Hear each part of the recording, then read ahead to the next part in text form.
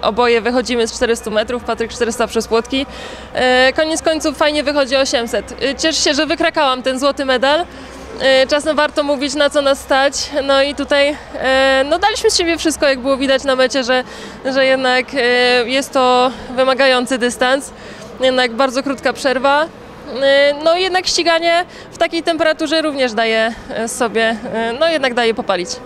Ciężko powiedzieć jak to wyszło czasowo, jeszcze nie wiem. Pierwsza na pewno była luźniejsza.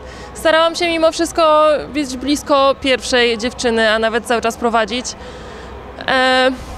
Druga 400, ostatnie 150 metrów, czułam, że, że jeszcze mam siłę, więc chciałam zrobić jak największą przewagę, żeby, żeby później Patryk ewentualnie miał mniej do, do walki.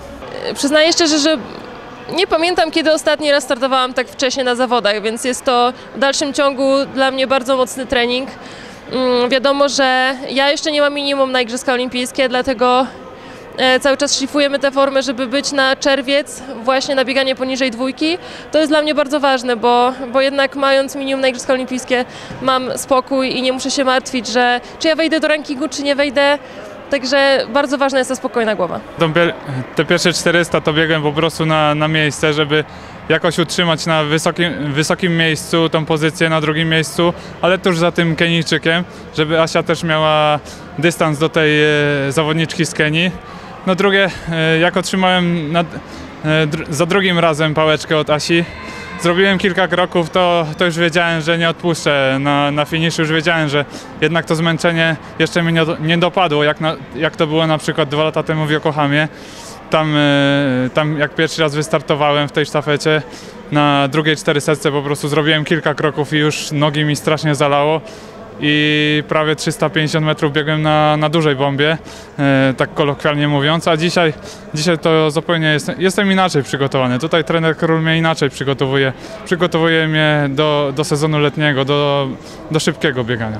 Ja tutaj, to jest, e, to jest oczywiście pewien element treningu, te 2 razy 400 metrów, bardzo mocne tempo e, i do 400 przez płotków i, i wydaje mi się, że również do, do średnich dystansów e, na 800 metrów. E, Zobaczymy jaki będzie międzyczas, ale wydaje mi się, że, że jest, e, jest jeszcze zapas, ale na przykład po tym zjeździe po, po bo akurat tydzień temu wróciłem z Zakopanego z hipoksji, to pokazuje na to, że jednak ta wytrzymałość jest bardzo dobra i daje, daje jakąś nadzieję na ten sezon letni. Takie imprezy jak tutaj, no bardzo dobrze, jest to jakby zgranie, zgranie zespołu, zgranie drużyny, bo jednak biegamy razem, akurat dzisiaj z Joanną Jóźwik.